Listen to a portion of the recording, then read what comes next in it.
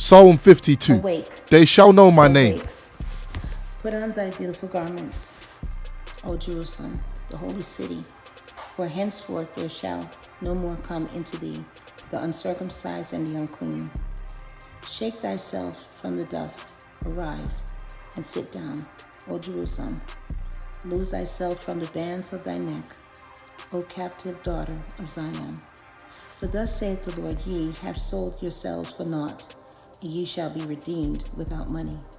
For thus saith the Lord God, the Most High, My people went down aforetime into Egypt to sojourn there, and the Assyrian oppressed them without cause. Now therefore, what have I here, saith the Most High, that my people is taken away for naught? They that rule over them make them to howl, saith the Most High, and my name continually every day is blasphemed. Therefore, my people shall know my name.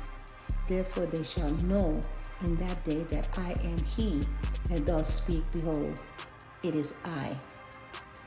How beautiful upon the mountains are the feet of him that bringeth good tidings, that publisheth peace, that bringeth good tidings of good, that publisheth salvation, that saith unto Zion, the God, the Father of Abraham, Isaac, and Jacob, has reigneth.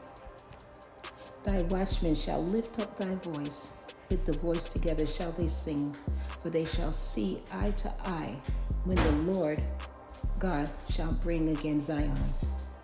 Bring, break forth into joy. Sing together, ye waste places of Jerusalem, for the Lord has comforted his people. He has redeemed Jerusalem. The Lord has made bare his holy arm in the eyes of all the nations, and all the ends of the earth shall see the salvation of our God.